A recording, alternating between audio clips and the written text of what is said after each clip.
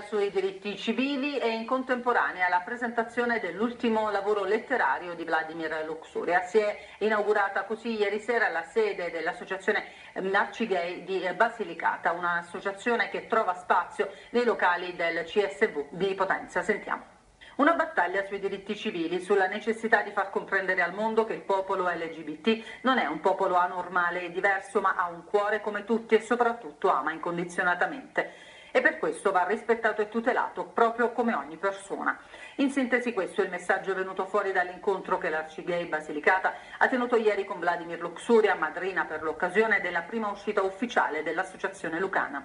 I diritti civili, dunque, quelli che non fanno distinzione se ad amarsi sono due uomini, due donne o un uomo e una donna, ma che nella nostra Italia ancora un po' regretta fanno la differenza quando si parla di tutele. Come l'uomo e la donna che convivono, che non hanno diritti in caso di malattia o di eredità, così accade che anche due coppie omosessuali si vedano negati i principali diritti che vengono invece ereditati dalle coppie cosiddette normali. Contro questo stato di cose è la battaglia dell'Arcigay che tende ad unificare ed equiparare due mondi che non sono per nulla differenti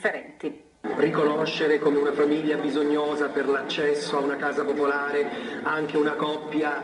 formata da persone dello stesso sesso che non hanno possibilità di avere una casa, ehm, tutto quello che riguarda il welfare esteso anche alle coppie conviventi, la possibilità comunque per dei cittadini potentini di potersi iscrivere appunto nel registro delle unioni civili. Bisogna farlo, è una lotta di civiltà,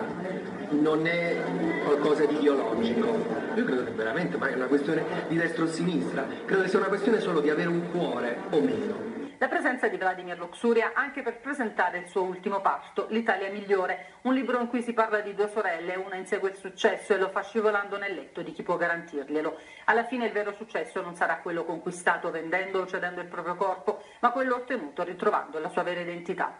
È una storia tutta femminile, un grande omaggio che ho voluto fare a tutti i modi di essere donna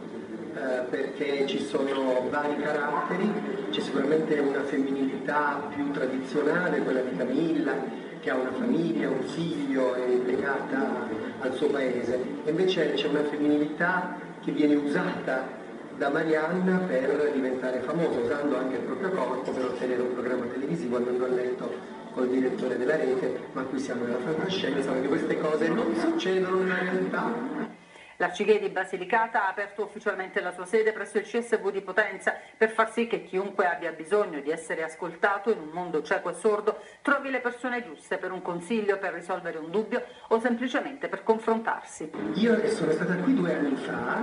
a presentare un altro mio romanzo, Il Dorado, e parlando con tutte le amiche che ho conosciuto e gli amici che ho conosciuto, avevamo proprio preso questo impegno, cioè ci eravamo chiesti perché in tutta la Basilicata non deve avere un'associazione, perché un ragazzo giovane gay, un adolescente trans, una ragazza lesbica non deve poter avere un punto di riferimento nella regione e obbligare questa gente ad andare via. Mi piacerebbe che ognuno di noi potesse avere la libertà di poter rimanere nel luogo in cui nasce.